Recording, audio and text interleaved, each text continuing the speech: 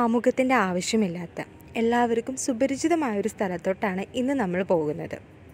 വരിക്കാശ്ശേരി മന ഇങ്ങോട്ടേക്ക് ഞാൻ വന്നപ്പോൾ എന്റെ മനസ്സിൽ ഒരുപാട് സിനിമയുടെ ലൊക്കേഷൻസാണ് മിന്നി മറഞ്ഞു പോയത്. അതിൽ ലാലട്ടൻ ഫാൻ ആയതുകൊണ്ട് ആറാം തമ്പുരാൻ തന്നെയാണ് എന്റെ കൺമുന്നിലേക്ക് ഫസ്റ്റ് വന്ന സീൻ നൂറ്റി ഇരുപത് വർഷം പഴക്കമുള്ള ഈ മന വളരെ പ്രൗഢിയോട് കൂടെ തന്നെ ഇപ്പോഴും നിലനിന്ന് പോകുന്നു.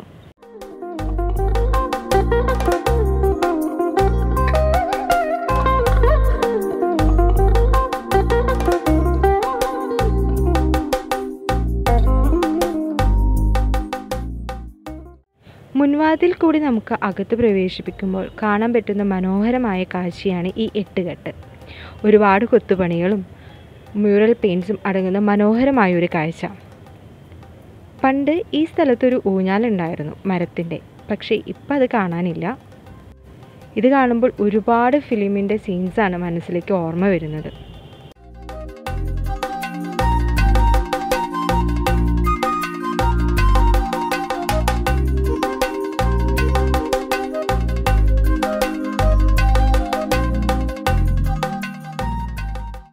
പുറത്ത് എത്ര ചൂടാണെങ്കിലും ഇതിന്റെ അകത്തോട്ട് കയറി കഴിഞ്ഞാൽ നല്ലൊരു തണവാണ് നമുക്ക്.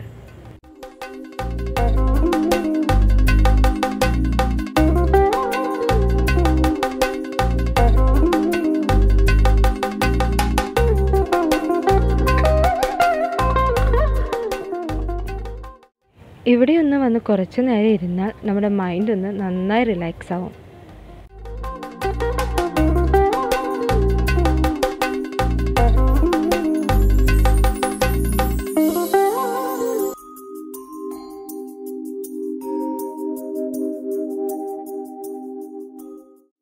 ഇതിന്റെ വാതിലുകൾക്കും ഒരുപാട് പ്രത്യേകതയുണ്ട്. എല്ലാം മരത്തിൽ തീർത്തതാണ്. അതുപോലെ തന്നെ ഇതിന്റെ ലോക്ക് വന്നിട്ട് ഏറ്റവും മുകളിലായിട്ടാണ് ഉള്ളത് മൂന്ന് നിലയുള്ള ഒരു മനയാണിത്. മൊത്തം എഴുപത്തി നാല് റൂമുകളുണ്ടെന്നാണ് പറയപ്പെടുന്നത്. പക്ഷേ നമുക്ക് മുകളിലേക്ക് കയറാനുള്ള ഒരു ഭാഗ്യം ഉണ്ടായില്ല. അവിടെ റിനോവേഷൻ വർക്ക് നടക്കുന്നത് കാരണം അത് ക്ലോസ്ഡ് ആയിരുന്നു.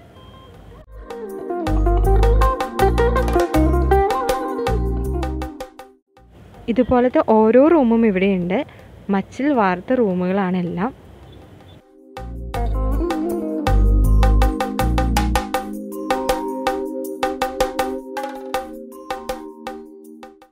ഇതാണ് ഇവിടുത്തെ അടുക്കള.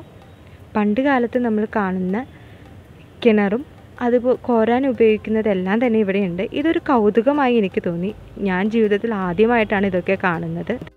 ചുറ്റും പാടാണ്. എവിടെ നിന്ന് നോക്കിയാലും പാടാണ് നമുക്ക് കാണാൻ പറ്റുക.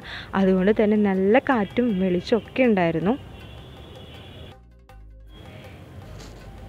ഇത് പണ്ട് കാലത്തെ സാധനങ്ങൾ സൂക്ഷിച്ചു വെച്ചിരുന്ന ഒരു ചെറിയ സ്ഥലം മാത്രമാണ് പക്ഷെ പത്തായപ്പുര വേറെ ഉണ്ട് കേട്ടോ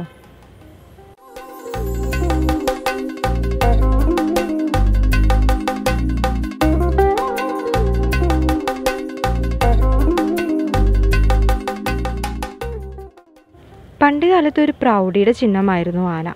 ആനകളൊക്കെ ഇവിടെയാണ് പണ്ട് കാലത്ത് ഉണ്ടായിരുന്നതും. അവരെ കെട്ടിയിടാനൊക്കെ ഉപയോഗിച്ചിരുന്ന സ്ഥലമാണിത്. ഇവിടെ തന്നെ രണ്ട് വീടുകളും നമുക്ക് കാണാൻ പറ്റും.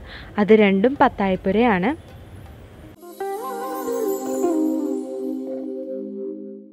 ഇനി നമ്മൾ പോകുന്നത് ഇവിടുത്തെ ഏറ്റവും വലിയ പത്തായപ്പുരയ്ക്കാണ്. പത്തായപ്പുര എന്നൊക്കെ പറയുമ്പോൾ ഇത് രണ്ട് നില കെട്ടിടമാണ് കേട്ടോ. പക്ഷേ ഇത് കണ്ടു കഴിഞ്ഞാൽ ഈ പ്രദേശത്തെ മൊത്തം നെല്ലും ഇവിടെയാണ് സൂക്ഷിച്ചതെന്ന് തോന്നിപ്പോകും.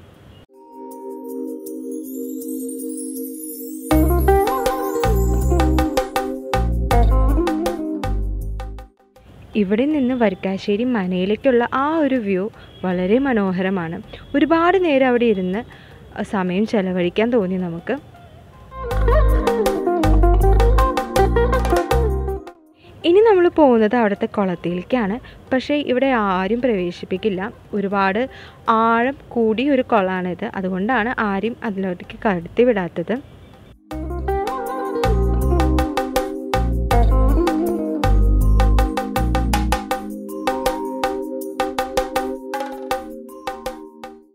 ആറാം തമ്പുരൻ ഫിലിമിലെ ചുറ്റമ്പലാണോ ഇതെന്ന് ചോദിച്ചാൽ എനിക്കതിന് ഉറപ്പൊന്നുമില്ല.